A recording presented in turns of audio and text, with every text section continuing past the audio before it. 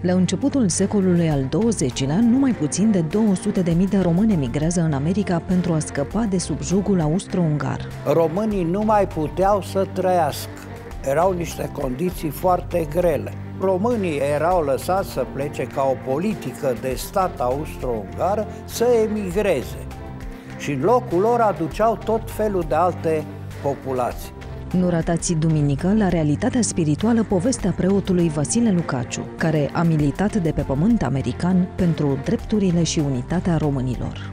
Delegațiile acestea au fost cele care l-au lămurit pe președintele Americii, Pe Wilson care Monroe. este uh, situația naționalităților în Imperiul Austro-Ungar.